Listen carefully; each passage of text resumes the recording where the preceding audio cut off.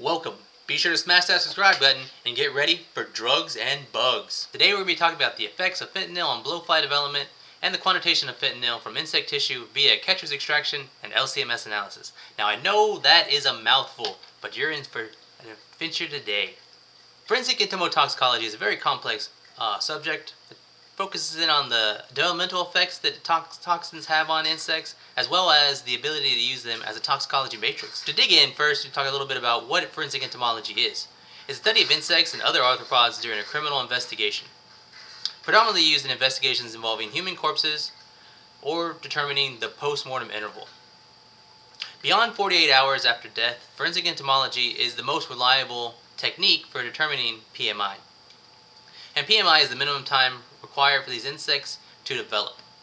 So they grow at a temperature dependent rate, which allows for PMI estimation. Shown here are, are a larvae and a pupa, image with the stereo microscope. Insects develop at known stages as they progress through time. So temperature dependent growth allows for the estimation of these insects' age if you know the conditions that they were growing in. So shown here is a life cycle of an insect, of the specifically the Sericata, with temperature held at 70 degrees Fahrenheit. So the adult insects come and they colonize the body. They'll lay eggs. After 24, 23 hours or so, these eggs will hatch. They'll emerge as first instar larvae. They'll begin to feed on the corpse. After 27 hours, they become second instar larvae, so they'll molt and become a second instar. After 22 more hours, they'll then molt and become a third instar and then they will become a pupa after 130 hours. And then 143 hours later, they will emerge as adult flies. So held under these 70 degree temperature, they will emerge this many hours after. But drugs have been shown to affect this growth rate. So drugs in a body have been shown to either speed up or slow down development.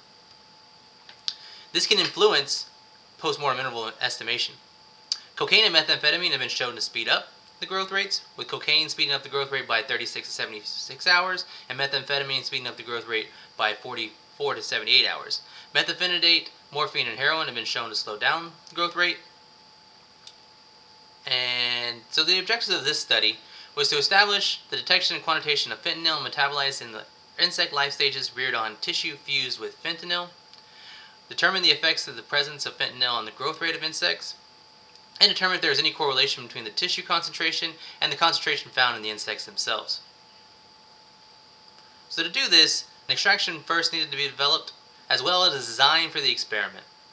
The extraction was validated by the ASB 036 and the design of the experiment focused in on physical characteristics as well as toxicology results from the insects themselves. So why fentanyl was chosen, chosen um, if you watched the opioid crisis, if not, check this link here. Then you know that the opioid epidemic is a very big issue in the US. Specifically, shown here in 2019, there was a sharp rise in deaths overall total any opioid, but specifically in the red line, synthetic opioids. Synthetic opioids increased from 3,000 to 36,000. Now, typical specimens for postmortem toxicology include blood, either central peripheral, liver, or other fluids and tissues when there is advanced decomposition. So when there's advanced decomposition, uh, the blood is not always available, or sometimes it becomes coagulated, and then so you're then just left with fluids. As well as insect specimens, um, drugs from cadavers can be incorporated into insect tissue, and this can be a valuable tool, especially when there's advanced decomposition. Because insect specimens can persist in the environment for long periods of time, they provide an additional matrix. So digging into a little bit of the method development, uh, we focus in on the, what the instrumentation was used, how optimization of the mass spec, optimization of the chromatography, extraction, validation by ASB 036, and then application to insect tissue. Instrumentation used is an Agilent 6470 with an Infinity 2 1290 auto sampler with an aqueous mobile phase and an organic mobile phase of methanol shown here. The transitions were optimized for fentanyl, 4-MeP, beta-hydroxyfentanyl, and norfentanyl, and shown here are the three deuterated internal standards. LCMS chromatography, shown here is the chromatogram for norfentanyl, beta-hydroxyfentanyl, 4-MeP, and fentanyl at the lowest uh, chromatogram. And shown here is the elution gradient on the left. An important step for this process was the homogenization. So we took the insect tissue, either larvae or pupa, and a mixer mill MM200 with disposable steel balls that were solvent cleaned. So you take three steel balls, place them into the centrifuge tube, and pulverize them at a high rate to really grind up the tissue and to make the extraction possible. The QuEChERS extraction used stands for quick, easy, cheap, effective, rugged, and safe. The insect tissue is taken with QuEChERS salt, acetonitrile, IS, water into the single tube, shown here as an example. Um, then mixed with, the, mixed with the mixer mill and then centrifuge to create a distinctive layer. The top layer was then taken to dispersive SPE tubes for cleanup and then centrifuged and the supernate was taken off. You see it's clear here. It was dried down, reconstituted, and then shot on the LCMS. For quantitation. Validation performed was an ASB 036 validation, which includes interference studies, matrix effects, bias and precision studies, LOQ, LOD, and linearity, dilution integrity, and stability. However, for time's sake, we're only going to focus in on the matrix effects as well as bias precision. So to select to show the selectivity in the interference study, um, we injected individual standards, a negative matrix, so the negative insect matrix, as well as an interference mix, consisting of all of these analytes, different opioids, opiates, supplements, synthetic cannabinoids, stimulants, synthetic cathinones, and cannabinoids, to show that none of these will impact or interfere with the study. And then here are the matrix effects for the larvae, specifically at the low and high concentration. So this was performed um, in triplicate or no, in uh, 10 replicates of each. So shown here are the mean suppression, ionization suppression or enhancement, and the limits are within plus or minus 20% is deemed acceptable. So shown here, the low and the high for the larvae were deemed acceptable. And then bias precision. So within run bias, I mean, within run precision, with between run precision and bias were evaluated at three concentrations, low, medium, and high, um, in triplicate over five runs. To be deemed acceptable, the percent CV needed to be below 15%. As you see here, it's below 11% for all the analytes uh, across all three concentrations, and the between run was also below 13% uh, for all the analytes across all the matrices. For bias and precision, plus or minus 20% is deemed acceptable, and they did not exceed uh, 10% for bias. So there was the, the method was both precise um, and accurate. So the overall design, um, took 20 grams of tissue, of liver tissue, and spiked that with either um, concentrations of fentanyl or control, and then placed 50 to 60 eggs on them. After they were able to develop, we, char we characterized the physical characters as well as the toxicology results. Shown here are the, the three treatments plus the control group. The control group had no, no fentanyl spiked in there. The low had 10 micrograms per kilogram. The medium had 100 micrograms per kilogram. And the high had one, 350 micrograms per kilogram. Um, the homogenized tissue had eggs placed on them. And then the insects were collected at day 4 and day 12. And length, width, and mass were evaluated.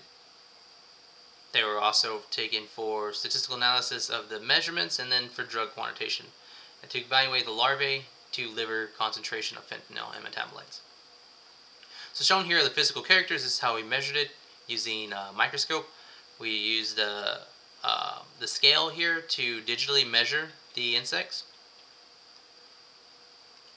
And shown here are the physical characters for larvae. So letters not connected by the same letter are significantly different. So shown here, A and B are significantly different from C shown here.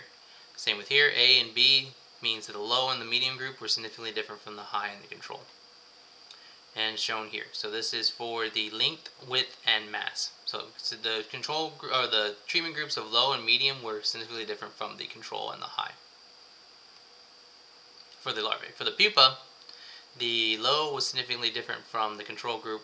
However, the high and the medium were not. For length, for width, there was no significant difference, and then for the mass, the low was significantly different from the control.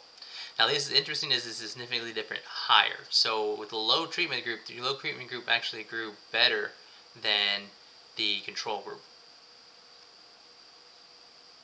So for mortality, there was a 21% mortality rate in the control group.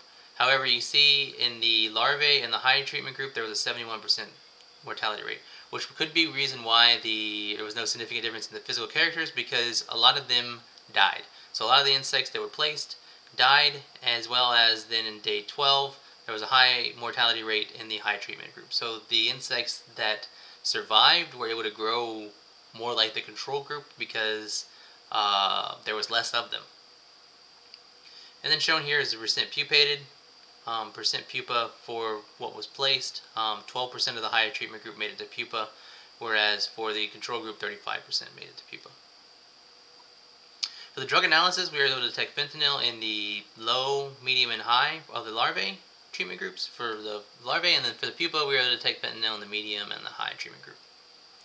Norfentanyl was only detected in the larvae and the high treatment group.